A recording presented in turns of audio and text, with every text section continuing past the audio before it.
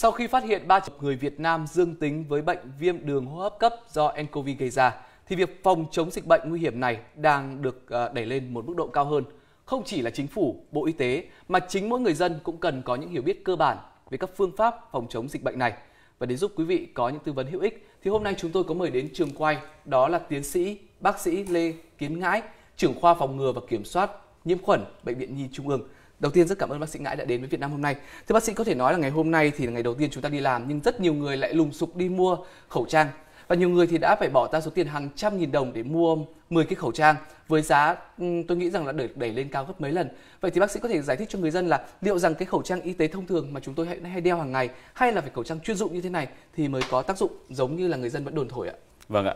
Vâng. Ờ, trước hết thì chúng ta cũng thấy rằng cái việc người dân quan tâm đến việc lựa chọn các cái phương pháp phòng ngừa là một tín hiệu tốt đến sự quan tâm của cộng đồng đối với lại việc phòng ngừa bệnh tật.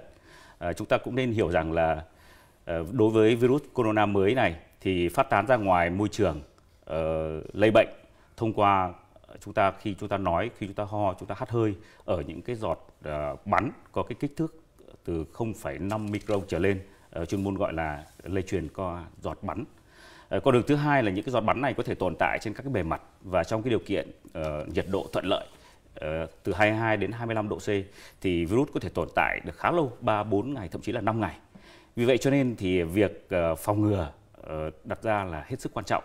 Thế thì khẩu trang N95 uh, như chúng ta đã biết thì chỉ uh, tác dụng là lọc được 95% các cái hạt nhỏ có kích thước dưới 0,3 micromet.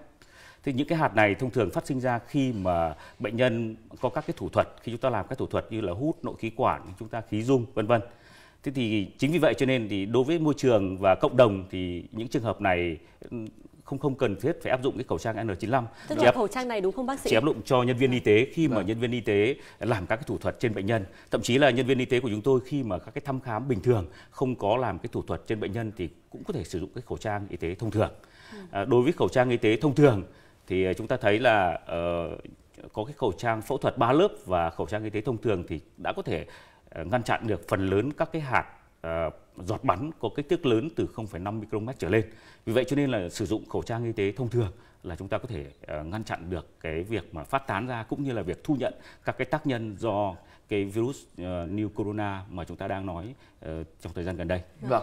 Như vậy là người dân hoàn toàn có thể yên tâm là nếu chúng ta mua những cái bịch khẩu trang khoảng 100 cái một hộp như thế này như chị Bích đang cầm thì hoàn toàn có thể giúp chúng ta cũng là một cái phương pháp để có thể ngăn chặn cái dịch bệnh này. Vâng. À, chúng ta cũng uh, lưu ý là Ờ, cái các cái khẩu trang này thì cũng cần phải được sử dụng đúng cách. Vâng. Thông thường thì khẩu trang có một cái mặt uh, chống thấm nước. Thông thường thì mặt, các nhà sản xuất người ta sử dụng cái màu màu xanh màu xanh phía ngoài. Đây ạ. Màu à, này ạ. Vâng ạ. Uh, còn lại cái mặt bên trong thì để chúng ta đeo uh, về phía che mũi và miệng. Khi vâng. đeo khẩu trang thì cũng phải che kín cả mũi cả miệng. Chỉ vâng. nếu mà chỉ che mỗi cái miệng không thì cũng không có cái tác dụng uh, phòng hộ. Dạ. Vì vậy cho nên là người dân à, chúng ta cũng hết sức lưu ý là khi đeo khẩu trang thì tôi đeo thử xem là như này đã đúng cách chưa nhá bác sĩ nhé. phía ra ngoài thông thường là vâng. Ờ, có màu xanh, ờ, cái mặt màu trắng thì ở bên trong và phải đeo che cả kín cả mũi và miệng. Đây ạ. Vâng, như này thì đã đúng cách chưa? là cách của chị Bích thì có đúng không ạ? Chị phải uh, bóp cái phía à, để nó sát vào mũi đúng không ạ? Che sát mũi và sát kéo mũi. phía dưới kín kéo phía dưới đúng không ạ? Đấy như vậy thì như này là đúng cách đúng không ạ? Là cái dạ. khẩu trang vâng. thích hợp và Ờ, và điều mà tôi rất là quan tâm rằng là ngoài việc đeo khẩu trang thì cái việc vệ sinh nhà cửa hay là người ta đang truyền tay nhau là mua thêm những cái dung dịch rửa tay khô thì không biết là có phải là những cái biện pháp cũng hiệu quả cùng với việc đeo khẩu trang không ạ? Như tôi đã nói con đường thứ hai mà tác nhân virus này có thể gây bệnh đó là nó tồn tại trên các cái bề mặt. Ờ, với cái điều kiện nhiệt độ thích hợp thì tồn tại được khá lâu 3 4 thậm chí là 5 ngày. Vì vậy cho nên thì cái việc vệ sinh tay là một cái hết sức quan trọng. Đặc biệt là khi chúng ta đụng chạm vào những cái nơi mà có nhiều cái sự va chạm, ví dụ như cái tay nắm cửa, những cái bề mặt mà có nhiều người cùng sờ sờ mó vào, hay là cái tay tay vịn cầu thang, vân vân, thì cái việc vệ sinh tay hết sức quan trọng ở thị trường thì có cả các cái dung dịch vệ sinh tay có chứa cồn và các chất sát khuẩn rất là tiện lợi ờ, chúng ta có thể ờ, trang bị những cái loại uh, dung dịch vệ sinh tay này sau mỗi lần va chạm vào các cái vị trí như tôi vừa kể trên yeah. Dạ. chúng ta có thể thực hiện cái vệ sinh tay và vệ sinh tay đầy đủ đúng cách cũng là một cái cách mà chúng ta ngăn chặn cái sự phát tán lan tràn cái tác nhân này yeah. Dạ. thứ hai là việc vệ sinh các cái bề mặt trong gia đình cũng là hết sức cần thiết bằng cái cách đó đó chúng ta loại trừ các cái tác nhân này nó bám ở trên các cái bề mặt Vâng. À. Thế không biết là khi mà đến những cái chỗ đông người ấy thì bác sĩ có những cái khuyến cáo như thế nào đối với mọi người để hạn chế thấp nhất những cái mức độ lây lan Đặc của biệt là mùa này? xuân thì có rất nhiều lễ hội đông vâng người. Vâng. Bộ Y tế thì cũng đã có các cái khuyến cáo ở trong cái giai đoạn mà chúng ta đang có lan truyền uh, dịch bệnh như thế này thì chúng ta hạn chế uh, đông người, đặc biệt là những cái không gian mà kín uh, cái sự thông khí kém thì cái sự đông người mà nếu mà có một trong cái số đó có người bệnh thì cái sự phát tán ra tác nhân và cái Rất nguy cơ tiếp xúc càng lâu thì cái nguy cơ mắc bệnh càng lớn. Vâng. Vì vậy trên chúng ta cũng hạn chế đến chỗ đông người.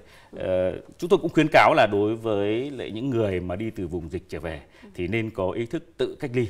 Ờ, chúng ta Bộ Y tế cũng đã khuyến cáo là chúng ta nên tự cách ly trong khoảng độ 14 ngày ừ. và khi có cái dấu hiệu ho, hắt hơi hay là sốt thì báo cáo ngay với nhân viên y tế để được hỗ trợ bằng cái việc như thế thì chúng ta có trách nhiệm với nhau vâng. hạn chế được cái sự lan truyền tác nhân gây bệnh trong cộng đồng. Một câu hỏi cuối cùng dành cho bác sĩ đó là nhiều người thì lan truyền với nhau cái thông tin là dịch cúm như thế này thì chắc là mình cứ đi tiêm phòng cúm cho nó chắc ăn rồi là tiêm phòng thêm cái phế cầu để bảo vệ phổi nữa thì chắc cũng là một cái biện pháp để ngăn ngừa dịch bệnh này. Không biết là thông tin này thì có cơ sở khoa học nào hay không ạ? Vaccine luôn luôn ờ, là một cái biện pháp vô cùng hữu hiệu để bảo vệ ờ, con người.